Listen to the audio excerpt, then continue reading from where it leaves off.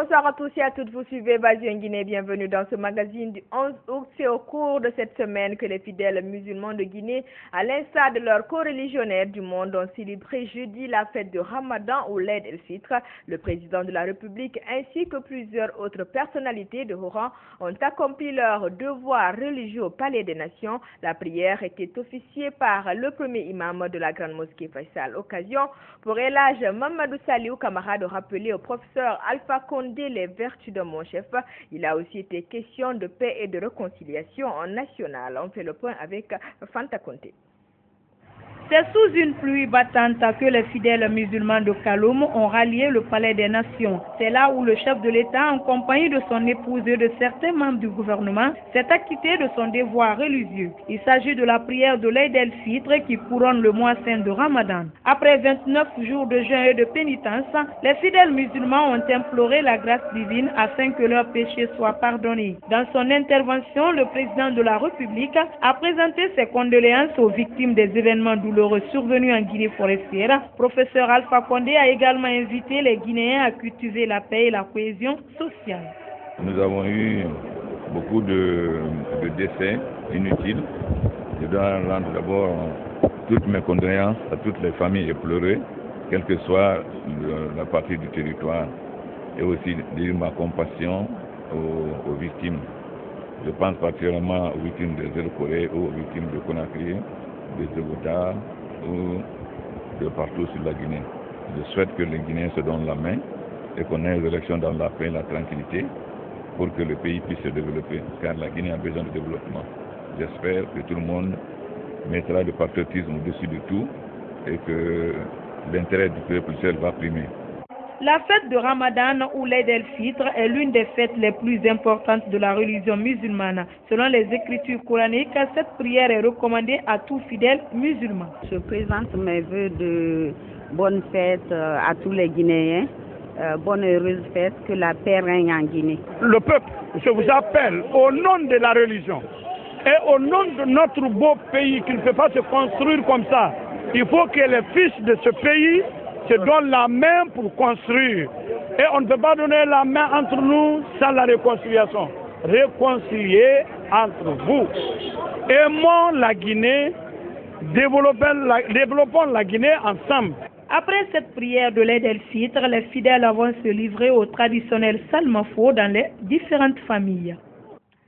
Et à la faveur de cette fête, le thème de la réconciliation nationale a occupé tous les esprits. Ainsi, dans la foulée de la grande prière de la fête de Ramadan, le chef de l'État et plusieurs autres personnalités de haut niveau se sont retrouvés au Palais des Nations. Il s'agissait pour les uns et les autres de promouvoir l'esprit de paix et de réconciliation tout en symbole dans un pays où le tissu social est très fragile. Marie Sheila Fofana était de la partie. Voici son reportage.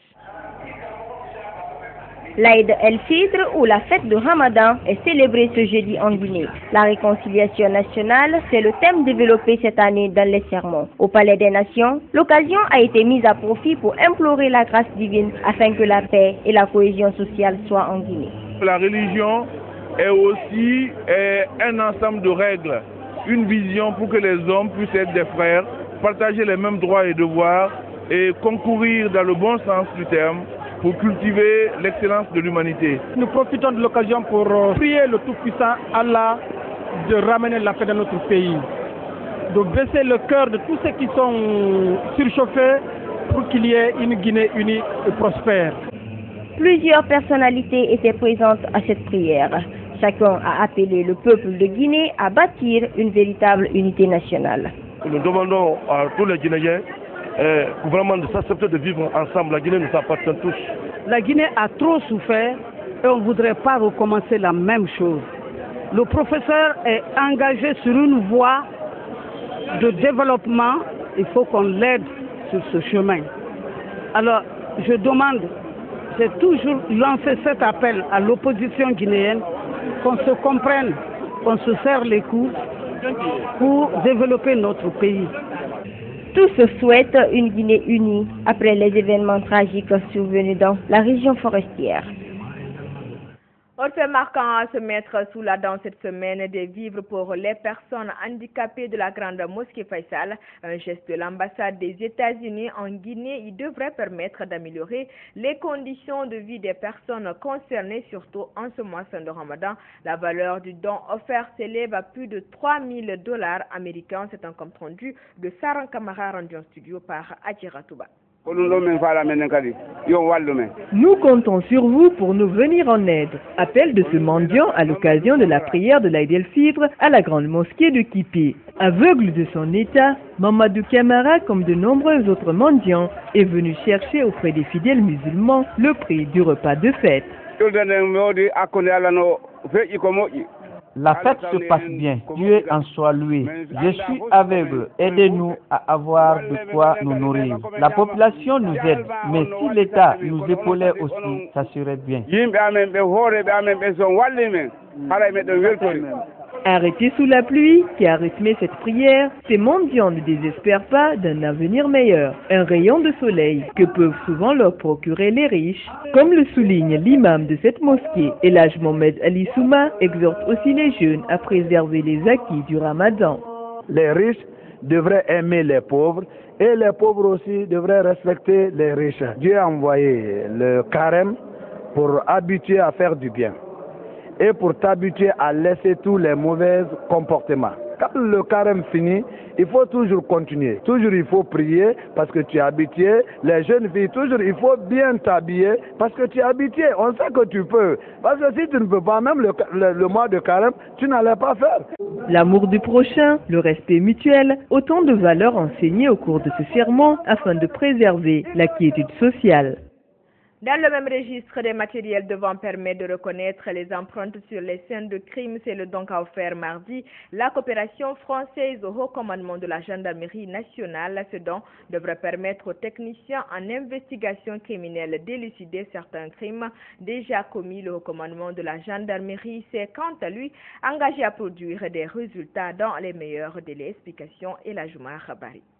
C'est dans le cadre de la réforme des forces de défense et de sécurité que cette ONG française, Laborex, a offert aux techniciens en investigation criminelle de la gendarmerie des matériels permettant de détecter des empreintes sur les lieux de crime. Des produits scientifiques, à savoir des empreintes digitales, palmaires et des détecteurs de salive et de sang. Des loups, finalement, qui permettent euh, de d'examiner euh, des, documents hein, pour euh, déterminer des, faux documents, euh, des billets de banque également. Des faux rénons, ce sont des petits boîtiers avec comme des tampons encreurs, si vous voulez, qui permettent de prendre des relevés d'empreintes, des adhésifs, ce qu'on appelle de transfert, avec un petit pinceau spécial. C'est cette poudre que l'on applique sur les différents objets qui ont été manipulés Cette tresse permet de délimiter une zone euh, qu'on appelle le gel des lieux, lorsqu'il y a une euh, n'importe quelle euh, infraction commise. Un don hautement salué par le haut commandement de la gendarmerie nationale qui s'est engagé à produire des résultats.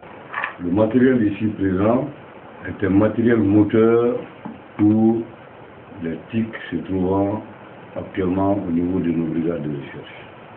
Mais il faut voir en ce matériel un symbole. C'est celui de la volonté des sociétés comme Laborex qui s'impliquent activement dans les initiatives de développement et de renforcement des capacités de nos unités. Naturellement, à travers la coopération française, qui, du reste, ne ménage aucun effort pour que les structures de gendarmerie se développent. Avec ce don de la coopération française, certains crimes jusque-là non élucidés seront peut-être bientôt un lointain souvenir. Autre ayant retenu l'attention cette semaine, l'atelier de validation du document stratégique de la phase 2 du second plan prioritaire pour la consolidation de la paix en Guinée s'est tenu mercredi au Palais du Peuple. Réunissant une centaine d'experts techniques, la rencontre était axée sur les mécanismes de mise en œuvre du plan prioritaire pour la consolidation d'une paix durable dans le pays. Le détail avec Elijah Malbari. L'atelier de validation du document de la phase 2 du plan prioritaire de consolidation de la paix a pour objectif de vérifier la conformité du document par rapport aux recommandations de l'atelier d'orientation et aux priorités nationales en matière de consolidation de la paix. Il s'agit également de s'assurer de la prise en compte des défis émergents et actuels de consolidation de la paix et des réponses programmatiques correspondantes conformément aux domaines prioritaires du plan. Il était question que ces membres puissent se retrouver pour valider certains projets afin de les proposer euh, au comité de pilotage qui est présidé par le Premier ministre en vue de sa validation et euh, pour permettre aux Nations Unies de débloquer le fonds nécessaire pour accompagner la Guinée dans ses ambitions de renforcement de l'autorité de l'État et du processus démocratique. Placé sous la coprésidence du ministre des Droits de l'Homme et des Libertés publiques, Khalifa Gassama Diaby a mis en relief les préoccupations du gouvernement quant aux défis à relever en vue de la construction d'une Guinée dans laquelle les citoyens jouissent de tous les droits. Il était donc de mon devoir d'être là ce matin pour représenter le gouvernement et exprimer à nos partenaires internationaux à quel point le gouvernement est reconnaissant à l'effort consenti par les acteurs internationaux pour permettre à notre pays de consolider la paix par la construction d'une société qui soit démocratique, qui respecte les droits de l'homme et qui permette à chacun de nos concitoyens de jouir de ses droits naturels en appliquant la justice de la façon la plus rigoureuse et la plus ferme. C'est depuis 2008 que la Guinée a bénéficié des financements du Fonds de consolidation de la paix qui ont permis la mise en œuvre du premier plan prioritaire pour la consolidation de la paix de la phase 1. Celle-ci a consisté en la mise en œuvre de trois projets complémentaires durant l'année 2012 par un financement qui s'élève à hauteur de 17,6 millions de dollars américains. Politique dans ce magazine AEG, Agir ensemble pour la Guinée, c'est le nom d'une alliance électorale qui a vu le jour cette semaine, composée de quatre formations politiques. Cette alliance à vocation centriste a décliné ses ambitions. C'était à l'occasion d'une conférence de presse qui s'est tenue à Conakry. Les détails avec Mohamed Malik Diallo.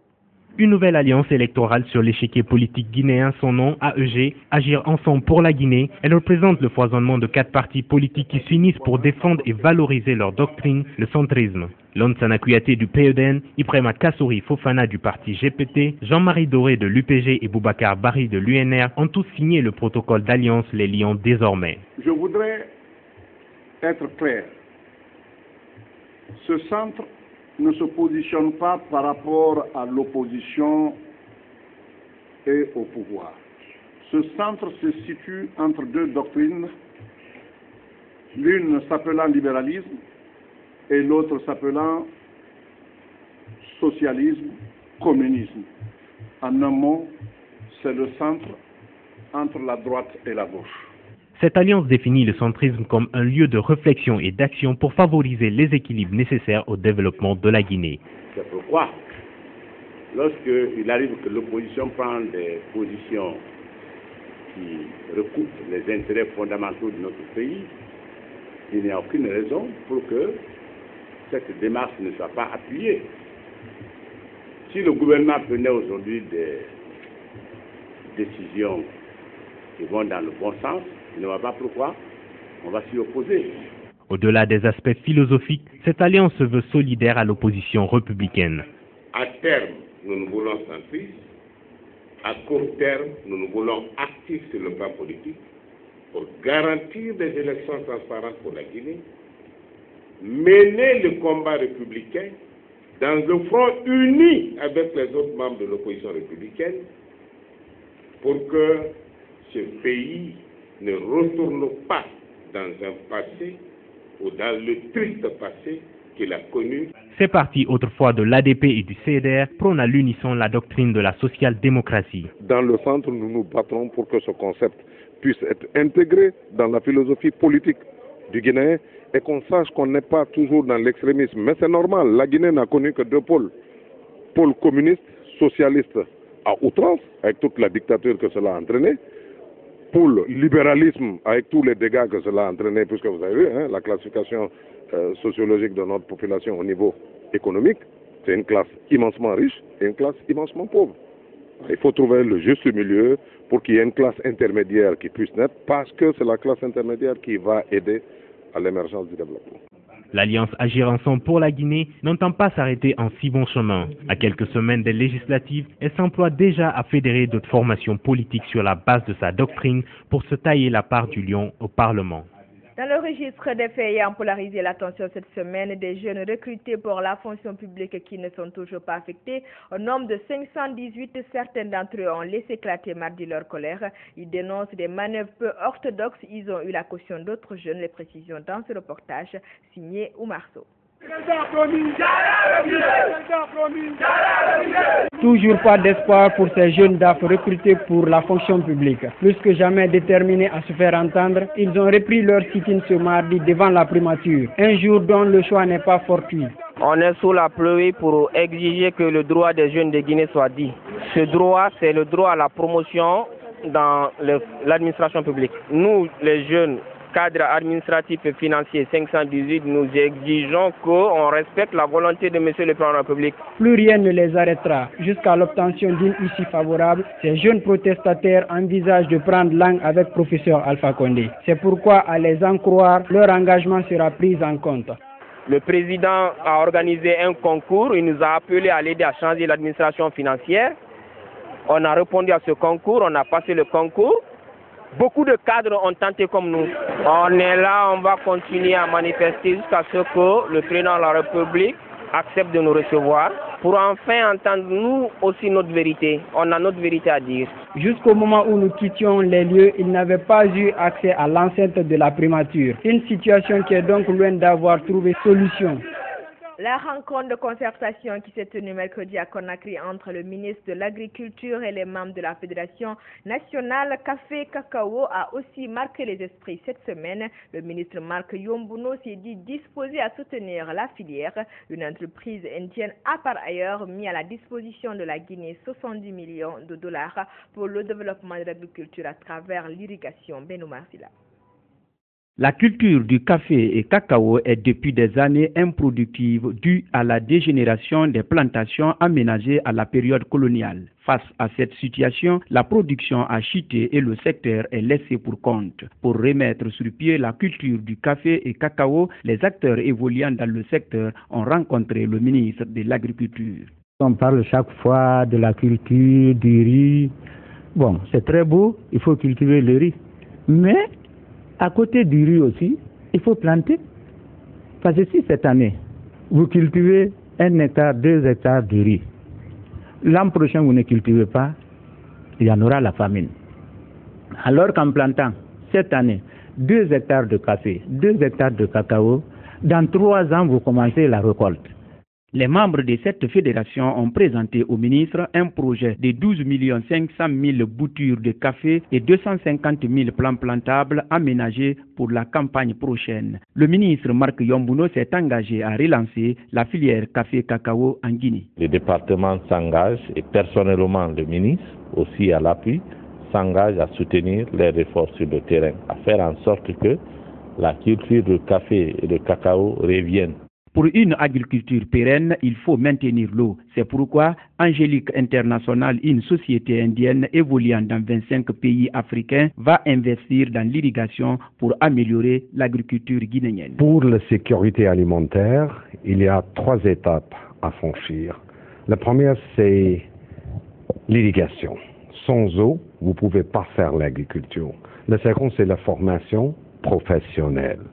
Et la troisième, c'est l'utilisation de la technologie moderne. Et je crois qu'avec la société angélique, on peut franchir les trois étapes. Et dans le proche avenir, vous allez voir, la production alimentaire s'augmente dans votre pays.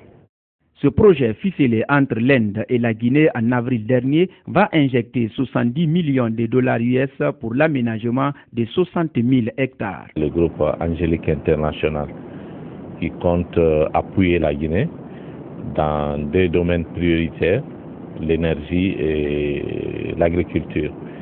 Et prioritairement pour l'agriculture, nous avons identifié ensemble un grand projet de développement de l'irrigation pour 60 000 hectares, avec un coût évalué pour le moment à 70 millions de dollars US. Tout peut attendre sauf l'agriculture, a dit un penseur. Deux ordinateurs portables et leurs accessoires ainsi qu'un téléphone portable de marque Itel ont été dérobés dans la nuit de lundi à mardi dans les locaux du ministère des Postes et Télécommunications. L'auteur présumé de ce vol a été mis aux arrêts grâce à la vigilance des gardes de ce département ministériel conduit à la brigade de la gendarmerie d'Almamia. Il a reconnu les faits qui lui sont imputés. Les explications dans ce reportage de Gao Bachir.